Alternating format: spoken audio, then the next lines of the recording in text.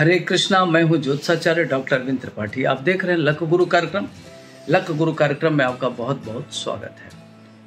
आज हम आपसे बात करेंगे अंतिम राशि, मीन राशि के बारे में कि जो मीन राशि के जातक है, उनके लिए आज का दिन कैसा रहने वाला है, किस फ़ील्ड में आज आपको सफलता मिलेगी, माली हालत कैसी रहेगी, रुका हुआ धन मिलेगा या धन अचानक आकाशवृत्ति के द्वारा मिलेगा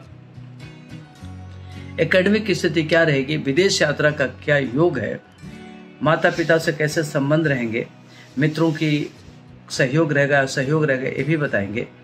और आज आपको क्या सावधानी बरतनी, क्या उपाय करना है, सारी बातें बताने वाले हैं। सरकारी नौकरी मिलेगी या प्राइवेट के क्षेत्र में काम करेंगे, जिनके साथ आप काम करेंगे, उनके साथ आपके कैसे संबंध रहेंगे, महिला मित्रों की संख्या कैसी रहेगी, महिला मित्रों का सहयोग रहेगा या सहयोग रहेगा, या किसी स्ट्रेंजर से लाभ मिलेगा, सारी बात आज हम आपको बताने वाले। इसके साथ साथ हमें भी बताएँगे कि आज आपको सावधानी क्या बरतनी है, उपाय क्या करना है, और आपके लिए शुभ अंक क्या होगा, शुभ रंग क्या होगा सारी बात आज हम आपको बताने वाले हैं।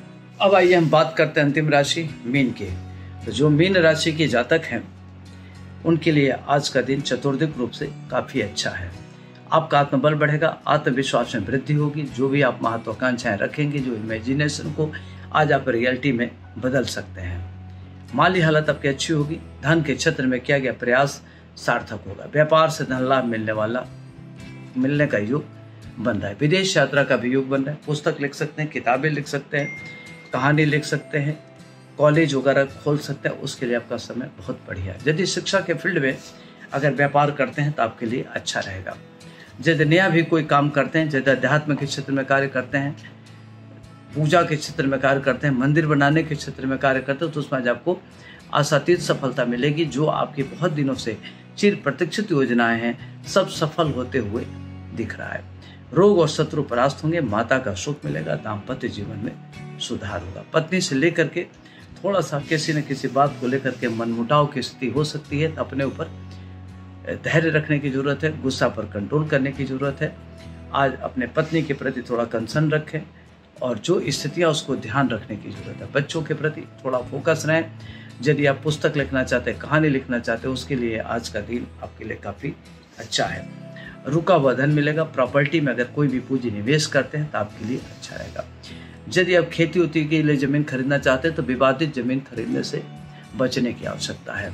संतान सुख मिलेगा, माता का सुख मिलेगा दाम्पत्य जीवन अच्छा रहेगा।